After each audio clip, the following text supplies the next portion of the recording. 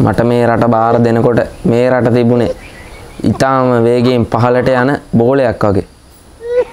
යන විදිය ගැන හිතා ගන්නවත් බෑ.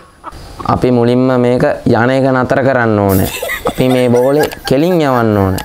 හරියට කොම්පියුටරයක් වගේ.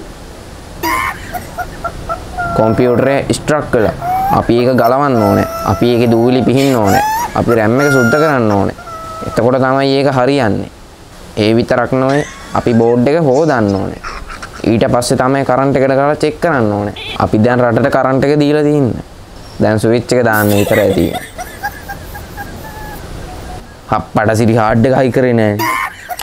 මං හිතන්නේ අගමැති මාරු කරලා හරි කමන්නේ. අපි මේ රට ගොඩ ගන්න ඕනේ. අපි ආයි මුලින් නම් පටන් ගන්න ඕනේ.